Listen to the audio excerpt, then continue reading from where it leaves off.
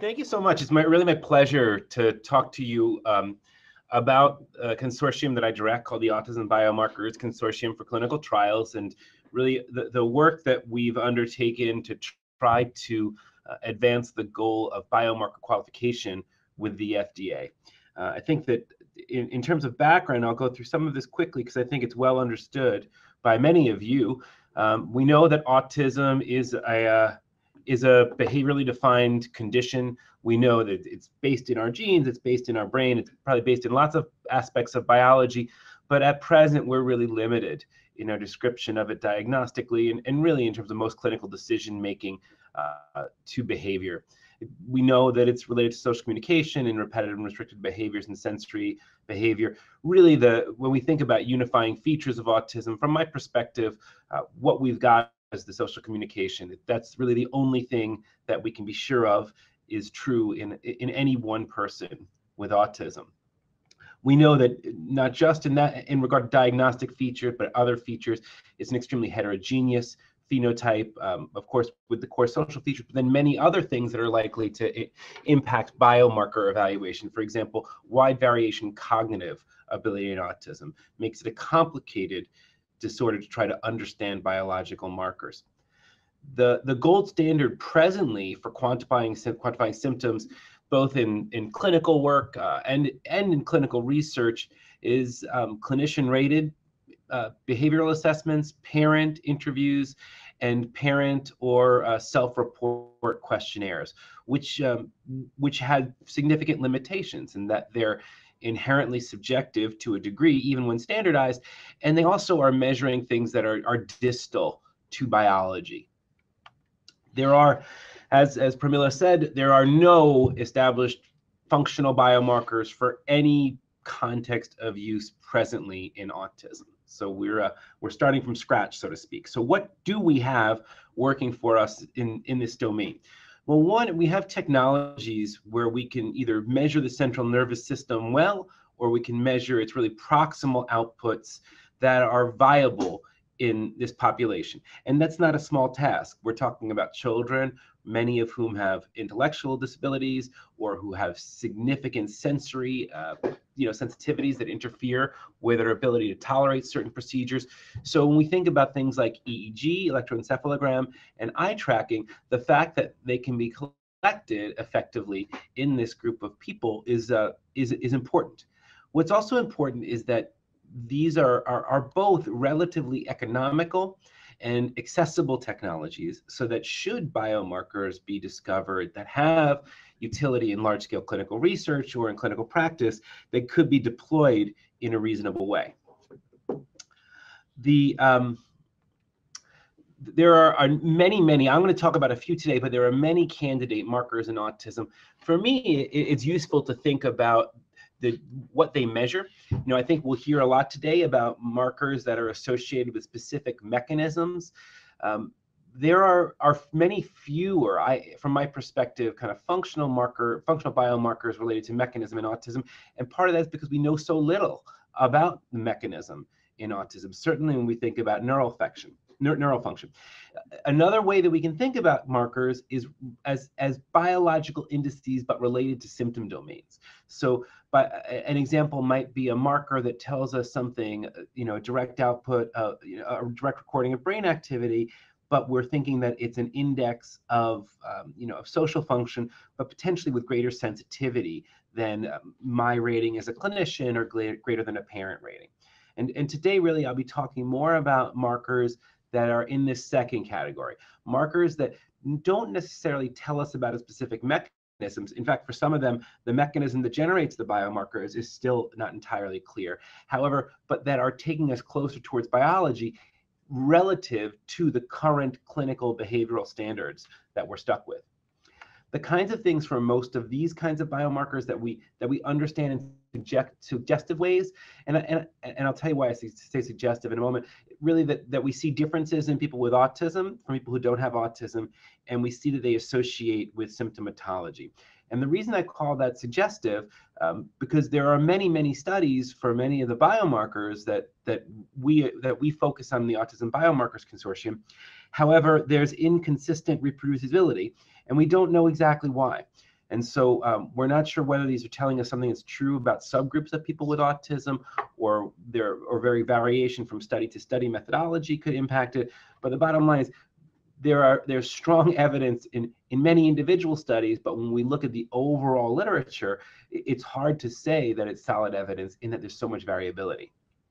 There's also places where I wouldn't even say it's suggestive evidence, where we really don't understand much at all. Um, in terms of many of these biomarkers, functional biomarkers, what their stability is over time. Um, you know, in the very short term, if we took repeated measurements when we don't expect a person to have changed much, would they be stable? But then also, these are children whose brains are developing actively, um, who's who are being intervened with in the in in school and in therapies, and we don't know conversely how stable some of these markers are as children develop, but then also how sensitive they are if clinical status changes. And then lastly, we really don't understand for most of these markers what the influence of methodological variation is. You know, uh, in this in this picture here, you see the EEG net that we use. Does it matter if a different EEG net is used? Does it matter if I show different kinds of visual stimuli, even within the same category to a child? These are things that are unknown. And these kinds of gaps in understanding in the context of a you know a promising knowledge base is the reason for the ABCCT study.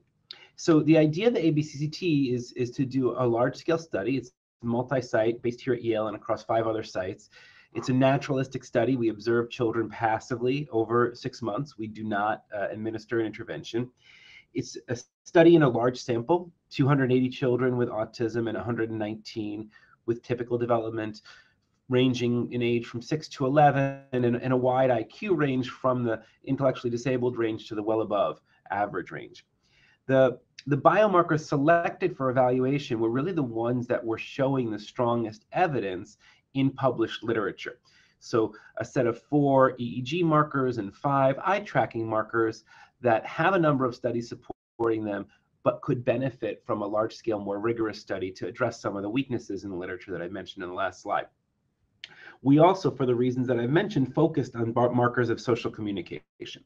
Um, the idea that there's many, many things that are relevant to study in autism, but given the focus in many of many interventions on social communication and the centrality of, of social difficulties to the condition, the, that was what we thought was perhaps the best bang for the buck in terms of a content area. We also administered a very extensive clinical battery, really the, the status quo, if you will, of things that are used in clinical trials and and in diagnostic practice. Our longitudinal design in, involved three visits, a baseline visit, a six-week visit, which gives us a sense of short-term stability when we wouldn't expect that much change in response to intervention or, um, or, or minimal human development, if you will. And then a 24 week visit when we would have more time to see if children had gotten better in the course of intervention certainly children have gotten six months older, and let us look at stability over the longer term. We drew blood, um, which is now being genotyped. Uh, un unusual things about the ABCCT are one, a, a really, I don't, I, don't use the word unprecedented lightly, and I, and I don't use it to be provocative. It is true. We um, we administered our study as if it were a clinical trial. So uh, we administered our study towards good uh, according to the standards of good clinical practice, GCP. So the regulatory standards were extremely high. Uh, methodologically, we had a, a, an extremely stringent training program. All of the hardware across the consortium was ensured to be identical. All training was done centrally, literally flying a person to these five sites. Obviously, it was a it was a different time back then. Uh, flying a person to all these sites to make sure that everything was do, being done exactly the same. And then also statistically. So, you know, in, using biomarker modalities that produce very, very rich data sets, very supportive of, of exploratory and analytic approaches, we really um, did an incredible amount of data reducing really to make sure that we had declared primary biomarkers, primary derived variables, and really to make specific directional hypotheses because of our goal to bring this to the FDA. And so we, we wanted to be clear that this wasn't the hypothesis establishing study, this is a hypothesis confirming study. Another unique thing is a collaborative governance that involves scientists in academia as well as scientists uh, at four different different institutes at NIH, scientists in industry, and scientists at the FDA as well, and a strong emphasis on open data with all of our, our data that we collected being shared in real time. The, the biomarker battery that, that we used, um, these some of these, I'm happy to share my slides, and I put some of this there for archiving. I'm, I'm not going to read through all of these things. What I want to highlight is of the four EEG markers and of the five eye tracking markers, there were two that we declared as primary. One was uh, an event-related potential called the N170, and I'll, and I'll tell you more about it and how it's derived. That was our primary EEG marker. And our primary eye tracking marker was actually a composite across three different experiments, uh, all conceptually, uh, you know, conceptually similar in that they were evaluating the amount of time and attention that children with autism pay to human beings in scenes. This is the, uh, I certainly won't enumerate all of these, but this is the long list of clinical measures that we used in the study. Um, our data collection concluded in May 2019. As you can see, um, groups were similar in age and sex composition. Um, about uh, nine years old on average, a, a, a pretty diverse sample um, in terms of uh, ethnicity, um, especially in the autism group. Uh, the other thing to highlight here is that in terms of the, the cognitive level of the group of children with autism, this is a, a, a pretty cognitively able group, with a, although some of them had IQs that were pretty low, on average, they were in the average range. The ERP biomarker, the, or EEG, ERP for those who aren't experienced in the field is just a way of processing the EEG to get a signal that tells you about a specific cognitive process. It's called the N170. This is a, a neural index of the, the very earliest stages of face processing. It's telling us about activity that is in regions that are germane to autism, like the superior temporal sulcus and the fusiform gyrus. And what a, a, a, long series of studies dating back to 2004, now probably 40 studies, has indicated is that this N170 response is slower in children, children through adults with autism. The way we quantify this biomarker is really by having a child wear an EEG net and flashing pictures of faces, upside down faces, and houses at them and, and recording their brain responses. This is uh, one of the things that we planned in the ABCCT was to harmonize some of our assays with a European consortium called EU, EU AIMS that Chris Chatham will hear about today, hear from today is involved with. And this is a, a, an example of one of the biomarkers that we did in both studies, so we have confirmatory samples uh, intercontinentally. And what we predict in this experiment is that we would see, as, as we've seen before, that the N170 is slower in people with autism. And that we did see that. Um, we see that people with autism are, um, are slower 210 milliseconds approximately on average relative to 196 in typically developing children. Things that that you know confirmed the hypothesis. There are also things that we've learned from this data set. One is that we are um, pretty successful at collecting this kind of information in a group of children with autism. We we got valid data on 76% of the children. We got it from 97% of the typically developing children. We see that in both groups, it's a, a, level of stability over the course of six weeks based on an interclass correlation coefficient that we describe as adequate.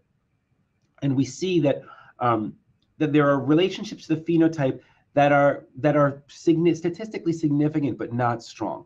So we see that people who have these these slower N170 latencies actually show more impairment in face recognition. They show more impairments in relative um, in different social skills.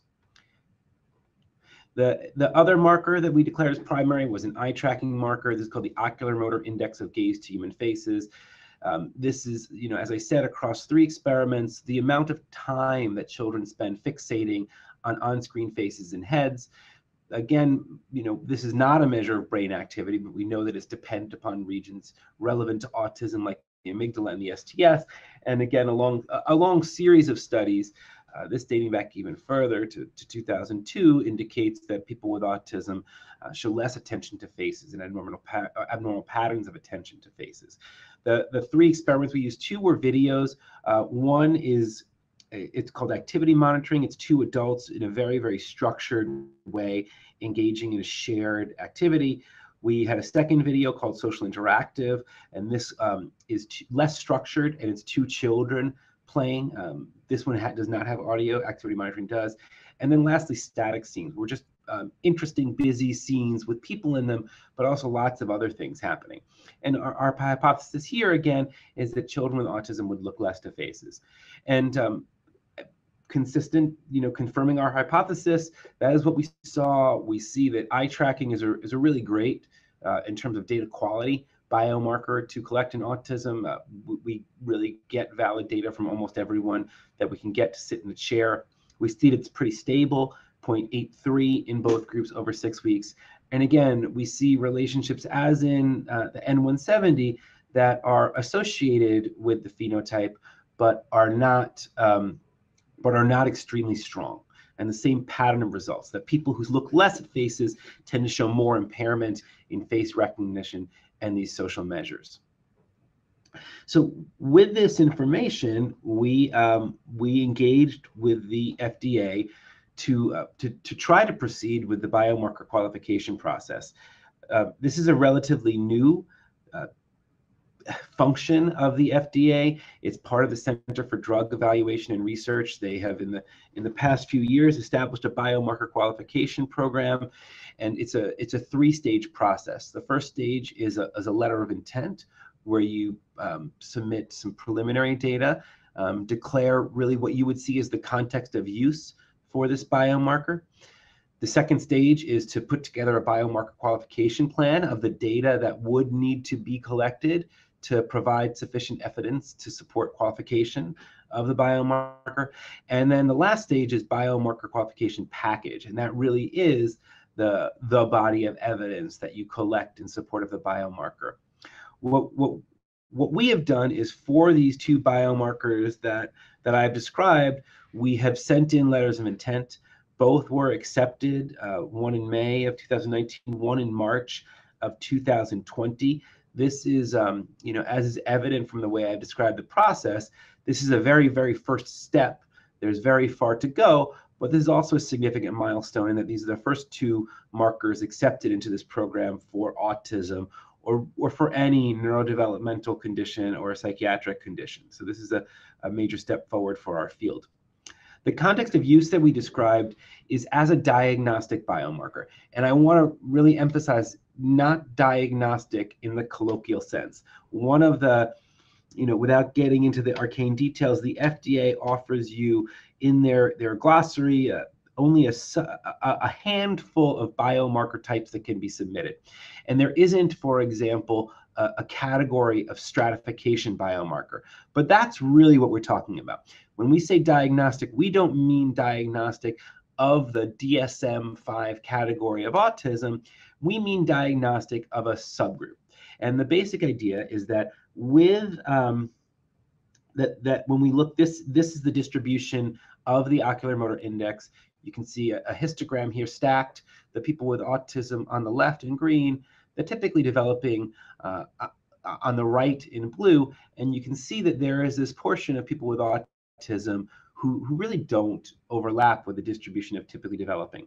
And what we're saying here is that this group of people, and this, you know, I mean, this is a very simplistic way to define a threshold for a stratum. Um, so uh, I'll talk more about that in a moment. But the idea is that people who are in this tail uh, maybe more biologically homogenous, maybe more phenotypically homogenous, um, but they certainly are more different from typically developing people than most of the other people with autism that we evaluated.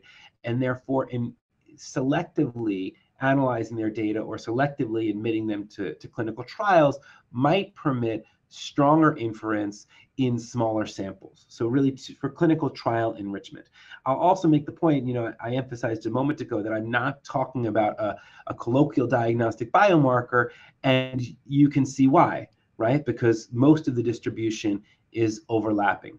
And so what we this would not be a good biomarker to tell us who has autism and who doesn't, but it may be a good biomarker to tell us that this group of people with autism are different from, from these people with autism in meaningful ways. Um, since submitting these letters of intent, we've we've had two uh, grants called cooperative agreements, U01s, funded really to support our engagement and our dialogue with the FDA. And there are many, many difficult questions to answer, and this is is truly uncharted territory uh, for us and for many of the people at the FDA in terms of trying to to determine how to evaluate psychiatric biomarkers. And the kinds of things that we're struggling with are, are, really how to best to articulate the context of use, given the issues I mentioned a moment ago. How do we determine a cut point um, in the autism distribution? And then, if once we do determine a cut point, how do we externally validate that subgroup, given that the, the measures that we typically rely on for, for validation are these clinical measures that we think are subjective, that we think are questionably reliable, and so it, it really is is is a is a challenging task to figure out a way to to to prove with confidence that this group is different in some way beyond just the biomarker values. And then also some kind of technical issues we're working on them with too, in terms of establishing that the, the these results are, could be expected with other equipment, with other experiments, and that really the, the, the, biomarker isn't an artifact of any of the specific approaches we use in the study, which we don't have any believe any reason to, to believe that it would be. We also, um, this work is ongoing. The we also in in July we're very very excited to to receive the opportunity to continue the study with a renewal. Uh, the renewal will last five years and it will entail three separate studies. One is a, a confirmation study, which will essentially be the, the same study in a new sample of children with a, a, a proportion of autism and TD subjects that's more balanced, 200 of each and that will eliminate one of the assays that we use that I didn't really talk about, but there's a particular assay looking at preference for biological motion or neurological response to, to biological motion that wasn't effective. The second study will be a follow-up study where we will bring back the cohort from the, the, the first ABCCT study, um, seeing them between two to five years after we originally saw them to look at long-term stability, to, to have another opportunity to look at sensitivity to change in case children make more progress over this longer period of time. And then also to understand whether biomarker values, you know, five years prior are predictive of functioning uh, in this in this follow-up study. And then the third study is a feasibility study to see whether we can collect and whether we can uh, get, get useful information in a much younger cohort of children, three to five year old children.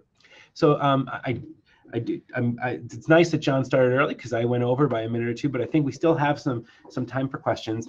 And I um, I do want to thank. This is a it's a large group. It's a a wonderful group to work with, um, and, and, there are a lot of people who have made very very significant contributions. Seen here in our um, in our organizational chart and in the smiling photograph from a, taken at a time when people could physically be co-located. So I'll stop there. Thanks so much. Thank you much, so much, Dr. McPartland. Um, I've been a big fan of your work for a long time. So, so we do have uh, a few questions uh, from the audience. So uh, one gets into, um, do you have any descriptive data on the percent of participants in the, the, the, the ABC CT trial that were nonverbal? Uh, and if so, um, did you evaluate their IQ and how was it evaluated?